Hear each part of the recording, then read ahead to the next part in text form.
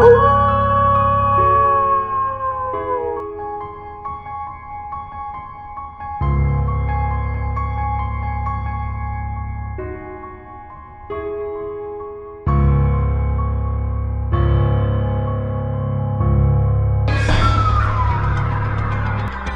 Hola, bienvenidos de nuevo a su canal para que leer.